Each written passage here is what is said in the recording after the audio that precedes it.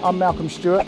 My name is Des West and we are here in our prefabrication yard in Matching Green in Essex. TClarke's welders are the best in the industry. We've had them for years. They work to the highest standard possible within our industry. They're class one welders. That class one has got very few impurities in that weld, obviously, which allow it to go mainly on gas mains and steam mains and sort of high pressure mains.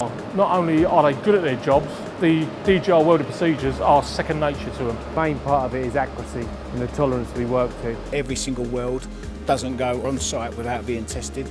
And once a month, the client and his representative come here, check all our paperwork, make sure they're happy with it. We test, obviously, the gas systems and the oil systems 100%, and it gives them that peace of mind that our quality will last that 50 years, the lifetime of the building thank you